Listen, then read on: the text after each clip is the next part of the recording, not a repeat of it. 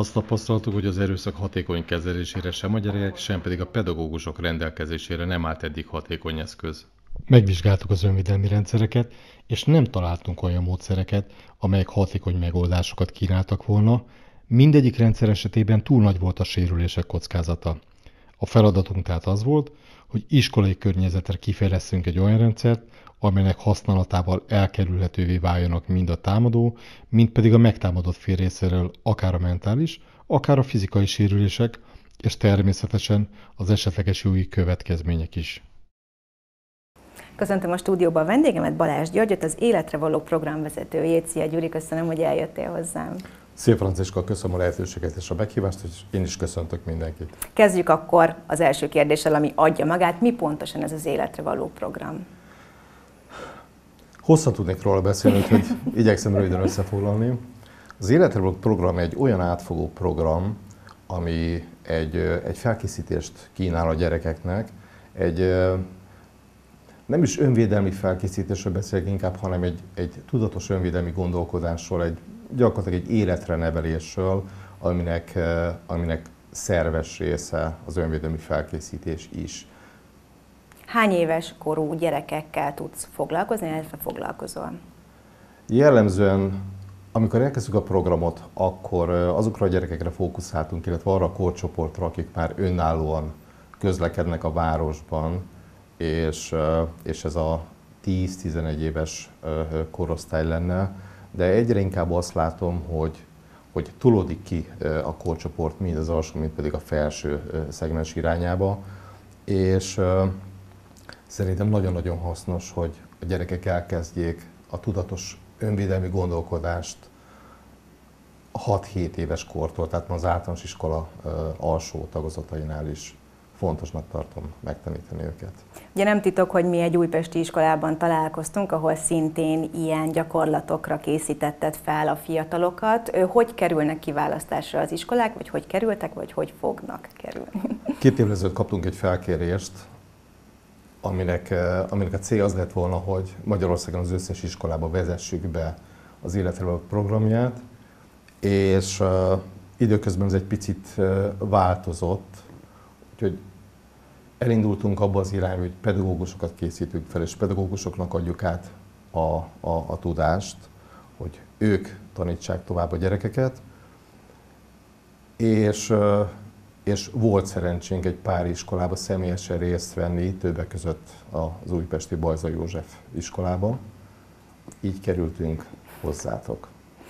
Hogy kell elképzelni egy ilyen felkészítést, hogyha mondjuk a tanárokra gondolunk, illetve hogy a gyermekekhez, mert nyilván azért máshogy kell hozzájuk állni. Első körben a gyerekeknek tartunk egy bemutató órát, amikor inkább azt mondom, hogy meghozzuk a kedvét a gyerekeknek a játékos foglalkozáshoz, és hiszem azt, hogy, hogy meg kell velük szeretetni a programot, meg kell velük értetni, hogy ez miről szól, és hogyha sikerül munkat elfogadtatni, illetve a programot, a tematikát, akkor partnerek lesznek benne. Első körben ez egy ilyen másfél órás felkészítés, amikor beszélgetünk, játszunk, egy interaktív foglalkozás, és ide már szívesen bevonjuk a, azokat a pedagógusokat is, akik a későbbiek folyamán részt vesznek a, a programban. Az első foglalkozásokat követően heti rendszerességgel általában a testnevelés óra alatt szoktuk a foglalkozásokat tartani a gyerekeknek, és nagyon-nagyon fontos, hogy grádiensenként épül fel.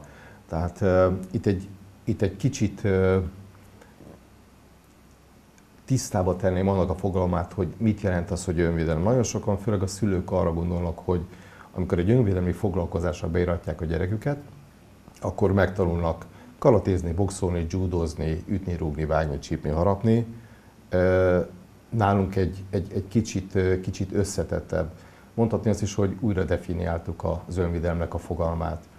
Az önvédelem mi olvasatunkban egy, mint ahogy az elején is említettem, egy tudatos önvédelmi gondolkodásra épül, amikor egyrészt tisztában vagyunk azzal, hogy milyen jogunk, milyen lehetőségeink vannak, a gyerekek képesek kijelölni a határaikat, egy számukra kellemetlen helyzetre nemet mondani, megtanulnak asszertíven kommunikálni, majd felkészítjük arra őket, hogy hogyan legyenek képesek időben felismerni egy veszélyes helyzetet, hogyan tudnak elkerülni számukra veszélyes embereket, és, és a legvégső esetben hogyan, hogyan képeseket magukat fizikailag megvédeni.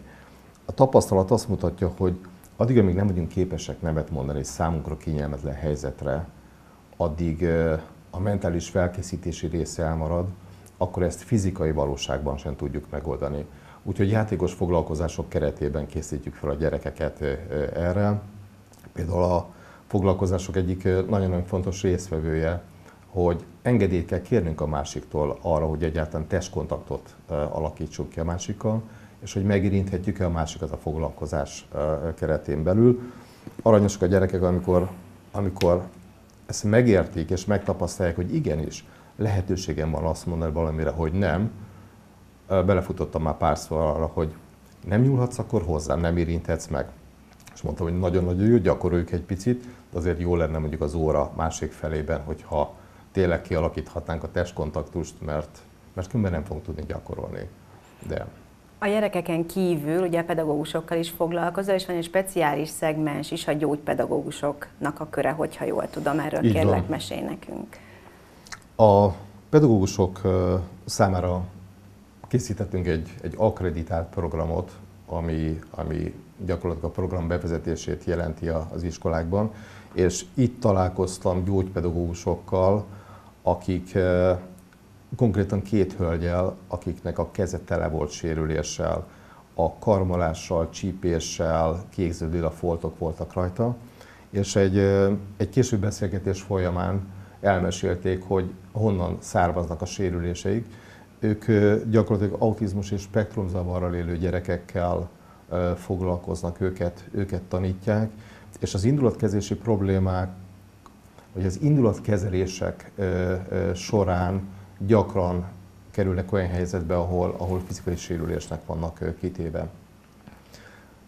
Most arra ez számunkra egy, egy, egy nagyon fontos terület volt, hogy őket készítjük föl, illetve a gyógypedagógusokat készítjük föl kifejezetten egy olyan erőszakmentes, önvédelmi megoldással, ami, ami segít kezelni ezeket a helyzeteket. Az iskolai erőszak ugye ez egyik legnagyobb probléma ma az iskolákban, ami a gyermekeket érinti, és hogyan tudnád összefoglalni, mi a te meglátásod, hogy hogyan lehet a helyzeten javítani, megelőzni vagy megszüntetni, ugye nyilván egy távlati cél, akár mondjuk, ha a gyermekekre gondolunk, hogyha a szülőkre, mert nyilván ők is egy fontos fókuszpont, illetve hogyha a pedagógusokra.